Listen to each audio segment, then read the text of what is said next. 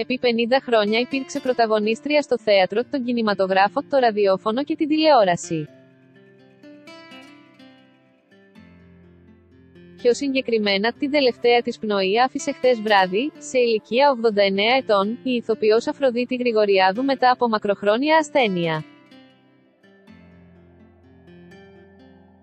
Ήταν η μητέρα της επιτυχημένης και γνωστής ηθοποιού Κοραλίας Καράντη, η Αφροδίτη Γρηγοριάδου, είχε σπουδάσει στη Δραματική Σχολή του Εθνικού Θεάτρου από όπου αποφύτησε το 1962, οπότε έκανε τον τεμπούτο της στο θέατρο Σανίδη με την παράσταση «Απόψε αυτοσχεδιάζουμε».